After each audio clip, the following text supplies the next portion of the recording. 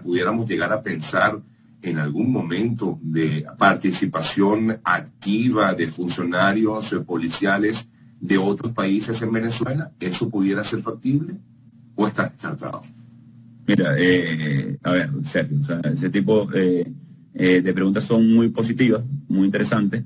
En este momento, la ruta está marcada y está muy clara.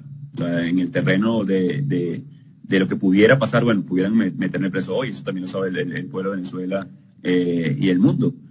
pudieran incluso agreder a los funcionarios consulares o de la embajada estadounidense que, atendiendo el llamado de la autoridad legítima de Venezuela, se quedan en el país. Entonces pudieran pasar eh, muchos elementos.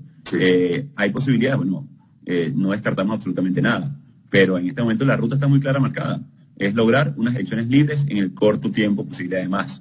El artículo 233 lo dice muy claro. asume el presidente de la Asamblea Nacional para lograr elecciones en el menor tiempo posible. Entonces, nuestro foco debe estar ahí. Ya el mundo sabe que para farsas no nos prestamos.